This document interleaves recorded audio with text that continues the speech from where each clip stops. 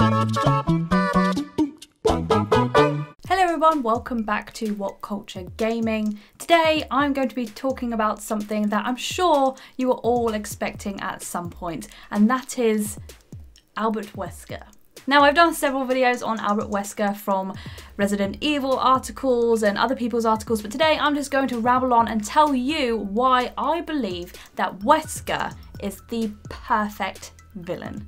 Now, Wesker is just, to me, just the epitome of the perfect villain because it's just everything about him. It's the way he talks, it's the way he moves, it's the way he dresses, it's his style, it's his attitude, and the fact that he is just overall the the biggest villain in all of the Resident Evil games, minus obviously the bosses and everything that you go against, the monsters, the zombies. But bear in mind, a lot of this was caused by Albert Wesker. You know, the T virus and, and the G virus and everything like that, and Ouroboros was all leaked because of Albert Wesker. And at one point, he has a plan to literally put the virus within like rockets and just and just blow people up and infect everyone. That's his entire plan. He wants to infect as many people as possible. And not only that, but he just can't be trusted. And he has this side of him that makes him very suave and, and, and, and almost sexy. I mean, I say almost, he's clearly a very sexy man. I mean, look at him.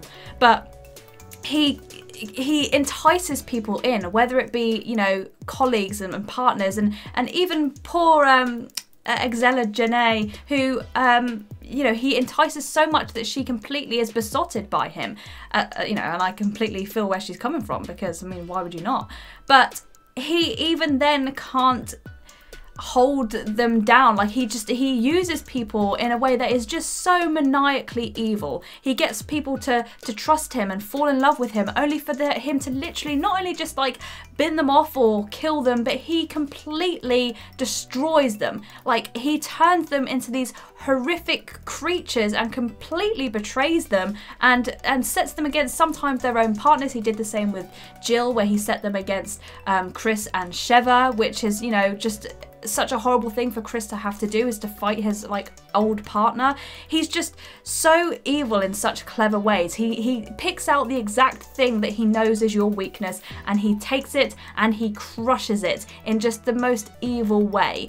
And that is what I love so much about Wesker and the fact that he is just able to continuously come back as well. Like obviously um after the first game, it's believed that he might be dead, but then there's rumours going around that he might be alive, and then it turns out that he is alive and he's actually infected with the T virus. He comes back, he forms new strains of the virus, he works with people like Excella and other scientists to basically try and get his hands on everything that he can. He's finally taken down by Chris and Sheva in Resident Evil 5, I believe, and even then, he puts up such a fight. He does not want to go down. He wants to make sure that Chris and everyone else to do with S.T.A.R.S. and um, and even Umbrella himself, he literally kind of becomes his own company within himself. It's like no one else matters but me, Albert Wesker. That's all that matters. Nobody else does. It's all about me, and I'm going to try and kill and infect and betray as many people as possible. And he gets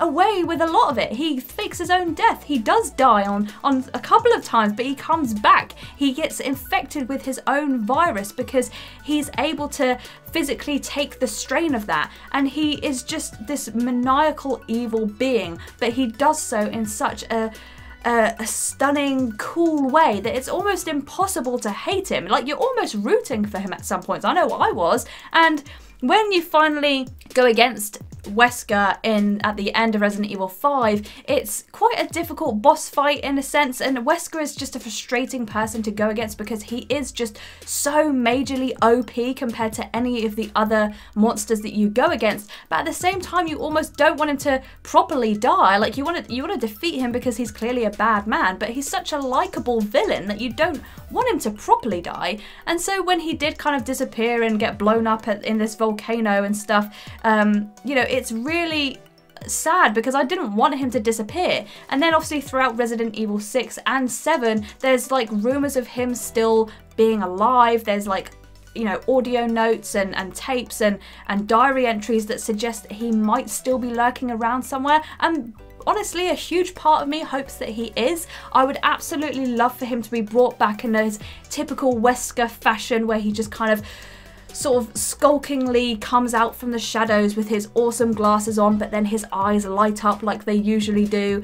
And he's just absolutely brilliant and I would love for Wesker to have a comeback in any new Resident Evil game that they decide to make. I know that they're remaking a lot of the old ones at the moment and even if they remade some of the old ones like where they remade the first one I would love to see a proper remade first Resident Evil game to just just to see what what Wesker looks like because there's been many renditions of him but he always looks very similar and even in the movies they did a cracking job with casting the guy that plays Wesker. So he just always has a very similar look and I want to have that on a next gen console would be fantastic because I want to see what he looks like. And honestly, I don't think that I ever want to see a proper death of Wesker. Yes, he's a villain, but he's an incredibly cool and likable one. And that is why I think he's just so perfect, is because he has done some of the most heinous things. He has killed